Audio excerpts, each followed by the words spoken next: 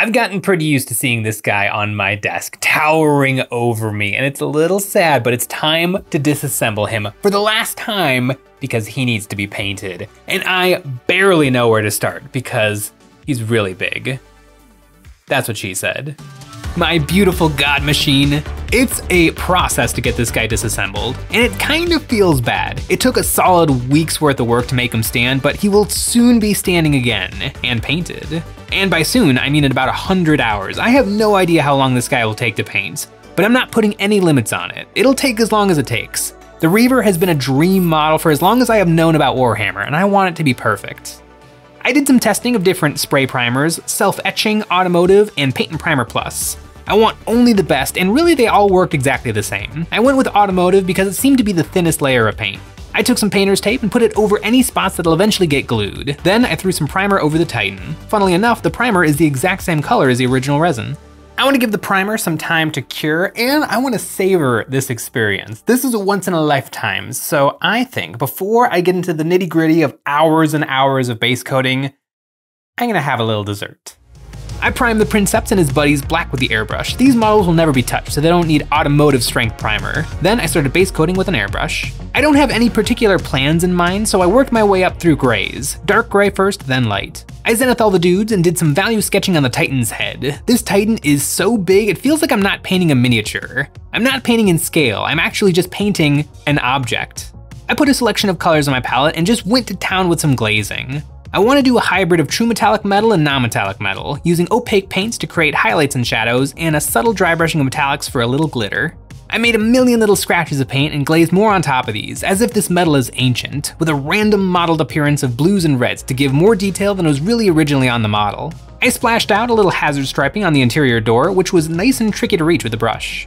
On the crew, I want them to pop out. The Knights and Titan Legions are more medieval than normal 40k, so I think red for their suits and blue for their helmets. Glazing these colors over the Zenithal and bringing them up to a bright poppy full saturation. And on the eyes, the Titan's eyes will be glowing green so the crews should match. They see the world through the eyes of the machine. I glued down their butts and already I have something of this behemoth of a model 100% finished. The Princeps himself got the same treatment on his royal throne. His clothing matches the cold blue and warm browns of the cast metal on the Titan's body. You can always tell how important a character is in 40k by how bald they are. I glued down his majesty, and you've heard of the Princess and the Frog. Well, meet the Princeps and his bros. To make the eyes glow, I base coated them with white, then gave them a little object source lighting with my airbrush, and then sprayed some neon green paint over top of that to tint it. Each lens got some green glazing on the bottom to create a shadow and a highlight of yellow on top to make them look bright and shiny. Just this head alone took a day and completely covered my palette in paint, but it was a good day. I am so glad I painted his little head first because number one, it's a nice palette cleanser after spending a few weeks not doing much painting because I've actually been building this thing. And it's a lovely little object to have to keep me company while I paint the other three square feet that make up this Titan. Step one, the base coating. Having painted the head, I took the colors and techniques and applied them to the body. I cheated a little, I sprayed the body sections gray, then sprayed black over top in a big wet coat, dabbing it off with a paper towel to get a super aggressive wash on the body. Now for the red and blue. Really this Titan is just a Space Marine, but a really big Space Marine, and it would look lame if all the metal parts were just gray. Adding in some texture with scratches and color will add a ton of visual interest to the things that aren't really meant to be interesting. I also love how 40k this thing is. His arms are really just brackets, but of course the Imperium had to add their brutalist artistic flair to it with some Aquilas. And why not add some verdigris here and there? One more little thing I can do to make him that much more exciting. Now that the regular paints are applied and I have some good highlights and shadows in the model, I can dry brush everything with some silver paint, just for the glitter factor. This big brick of resin is super heavy and is about the size of my entire Space Marine collection if they were all mushed up into a Titan-shaped lump. This body section is about three pounds. It's really hard to paint, but I have been trying really hard to add a lot of color and a lot of interest into this kind of rather unimpressive brick that makes up his body. I could have just gotten a can of Games Workshop Leadbelcher, hosed the model down and done some washes, and that would have looked pretty good. But I don't just want pretty good, I want perfection. This is a once in a lifetime miniature and I want it perfect. This model is gonna sit on my desk forever. I'm gonna be an old man on the porch, and this model is going to be sitting next to me, keeping me company. So I want it absolutely incredible. But I am getting really tired of holding this thing up. So I think I'm gonna switch to the chicken legs. Maybe I'm just hungry, but don't these look just like drumsticks? He's got a pair of Kentucky Fried Titan legs. His juicy thighs are humongous hydraulic pistons, and I wanna make them look real. I base coated them in silver and took some painter's tape to make rings around these tubes and airbrushed on some burnt umber inks.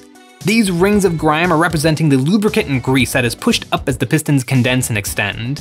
For the body sections, I've been using gray with blues and reds, but I want to introduce a new color, bronze. I don't know why, but I always think round stuff should be cast bronze.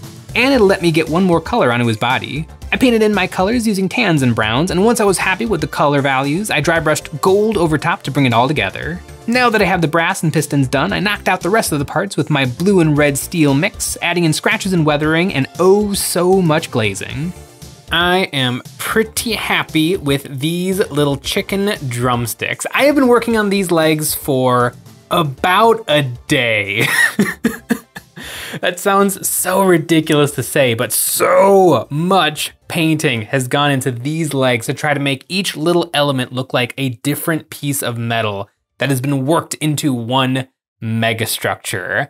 I have been scratching and wet blending for like 40 or 50 hours now, and I like to think that that practice has built to something. So I have got these feet right here, and I wanna see if I can get these done in an actually reasonable amount of time.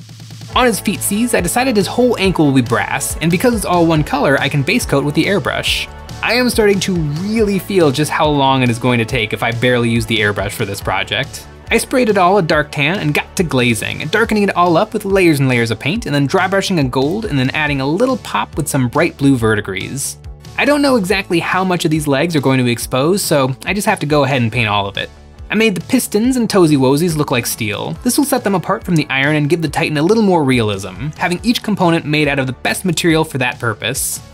This guy is the equivalent of painting a 2,000 point army, and unlike painting an army, I don't get those little moments of, ooh, I finished the heads, ooh, I finished the swords. Instead, I'm getting into situations of, I finished the toe. That took a long time. I've got seven more to do.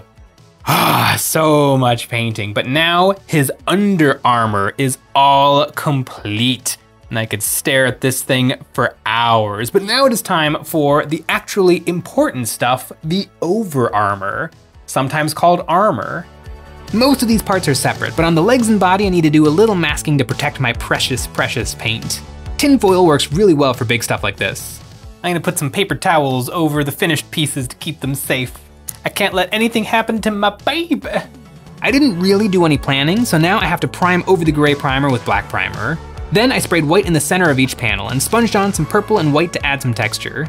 This isn't paint chips, but small imperfections in the metal. Then I sprayed everything blue with a transparent ink to show off everything underneath. And now for some dark, dark navy, spraying around the edges and darkening everything to my desired imperial navy. All of the armor panels are now dark blue and it feels so good. There is now finally more paint on this sucker than primer. It's time for the Suture Vora Hot Rod Flames, and on the Knight Lancer, it took me about five hours to freehand all of the flames. And that Knight Lancer is like the size of this guy's foot. So I have a secret weapon to help me through the Hot Rod Flames on this guy, and it is from today's sponsor. Beforehand, I used some tape and a Sharpie to make my flame designs that perfectly fit onto the pieces, then Nick took those drawings and turned them into vector files that are digitally perfect, and Home Hobby and Hyperspace turned those into sticky-backed stencils. I have been using stencils from Home Hobby and Hyperspace for years now to add intricate decorations to my models and they work like a charm. These are fast to use and give me much crisper results than when I try to freehand. These stencils have an adhesive back so they stick and hold your models, giving you a good seal so paint doesn't leak underneath, and leaving your hands free to apply paint with an airbrush or sponging, giving you more control over the color and texture than water slide decals. And they are not one-time use. When you're done, you can stick the stencil right back to the sticky paper to reuse them. I have all my original stencils, which are still going strong today. They have many different themes and designs on offer, including grim dark, celestial conflicts, superheroes, graffiti, and much, much more. Home Hobby and Hyperspace is having a sale on their stencils. Shop the code EOB10 to get 10% off store-wide until December 22nd. And check out the description to get early access to some Black Friday deals. One thing I've been wanting to do ever since I started building this Titan was give him an absurd number of kill tallies in the form of skulls. I went through every decal sheet I own and found all the skulls and one by one I applied them all. I used some transparent inks over top to blend them in and some sponging of dark blue to make them look more realistic. I applied my stencils and began airbrushing orange right over the armor. It's kinda weird using a stencil because I don't really know what the end result will look like. I have to just try my best to make interesting flames, layering on more colors and textures with airbrushing and sponging. A little contrast paint yellow and red gave the flames an incredibly vibrant appearance, and now it's time for the best thing in the whole world, demasking. Ever so carefully, I peeled off the stencils and it left behind the crispiest flames this side of the Mississippi. The fire is looking hot, but it's a little clip arty. It's very easy to see the edge of the decal, so I wanna find some things I can do to kind of smooth it over and feel a little more realistic. I sprayed some red ink right over the flames and navy armor to blend them together and make the flames look like they're glowing. Then I picked out all of the trim with a gray. All the fancy trim was throwing me off a little bit. I have my Titan iron and brass recipes on lock, but nothing figured out for the decorative trim. At first I tried to do it all with metallics, but the contrast wasn't really doing it for me, so I went over these areas with black and white paint to make them look really reflective. And I glazed some blues and reds onto them to add some color. Then I edge highlighted everything. It's not super realistic, but it is super interesting looking to me, and this is my Titan. His little head's done! Oh, he's such a cutie. And this project is finally dawning on me how incredibly large it is. I've just passed the 100 hours of painting mark. And, um, I might be able to finish this, but I think I need a pick-me-up. I've been using these fun dog fact cards for masking, so let's just have a little fun. Fun dog fact, did you know Dalmatian puppies are born completely white and they develop their spots as they get older? Well, not according to 101 Dalmatians. I wonder if that's true. Titans have this weird thing where their decorations are all carved stone. I guess they're carefully carved out of marble and then glued on top of the steel. It's very strange, but it does look neat, and that's the real reason. I base coated them in a green gray and layered up to white paint, accentuating all the cracks. Then I dry brushed the symbol with white paint and I washed it all with a dark brown oil paint. The details are really crisp, so oil paint will be the perfect wash. Every single part of the Reaver Titan's body is painted, I think, and I can finally start to see the light at the end of the Reaver tunnel. I just want to see him stand again, that's all I want. And to get him closer, it is time for all these guns. The body and armor are all dark blue, so for the guns, some nice warm brass will stand out and make them look striking. I painted these up with the airbrush and I discovered a really funny noise the Reaver Laser Blaster makes when the air hits it at just the right angle. After laying down a base coat, I did about 10 layers of washing and glazing to darken the colors until the guns were looking ancient and dangerous. Then a dry brushing of gold and silver for the shine. On the missile launchers, for some reason, each microscopic missile is separate. It'll make painting a little bit easier, I guess, but gluing them on, a challenge. I know of no better color for big cartoon missiles than red, with a little white tip. And you know what else has a little white tip? That's right, our Patreon. We have monthly terrain packs. This month it's the Shipping Hub, a huge selection of huge models, the Titan-sized crane, working containers, elevators, and stairs. And if you always want to be up to date on the goings on at Eon's Battle and be entered into our monthly giveaways, this month is the Space Marine Spearhead Force. Follow the link in the description to sign up to our newsletter. Ah, the last step in this absolute journey of a project, the base. And luckily, it's nice and small, shouldn't take too long. The base is nice and simple. The Reaver is the real draw. The base is just there so he doesn't fall over. If the Reaver is posed like he is in the Games Workshop web store, he can actually stand all by himself. But for my action pose, he needed a base. I airbrushed some browns over the base, getting a nice earthy battlefield, and then picked out all my little fellows with some paint. These down guardsmen were just unlucky that they showed up to the battlefield before the Titan showed up. All the guard that were behind him are probably nice and safe a little streaking grime for washing, and then it was time to paint the biggest base room of all time, black. It's done. It's all done. I've been dreaming of this moment for the last two weeks. Ah, it's time for some glue. I loaded the sucker up with tons of super glue and epoxy, putting them together one last time. It's really not a miniature. It's barely a usable model. It weighs 7 pounds and its rules are hilariously inefficient. These Titans are great for the same reason 40k is great. It's just dumb fun. A mashup of mecha anime and medieval churches with a little World War II and Dune mixed in for good measure. These things shouldn't exist, but they do. And is there a good reason? Nope. The only excuse for their existence is because it's cool. This Titan has been about a month of effort, and really way more than that, from designing stencils to figuring out the engineering just to make him stand.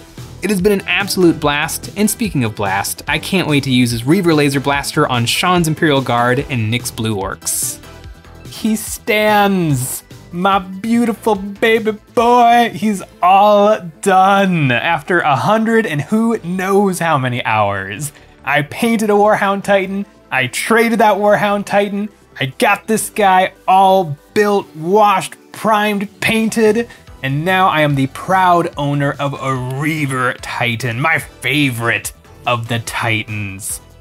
Oh, it's been such a long process, but here he stands.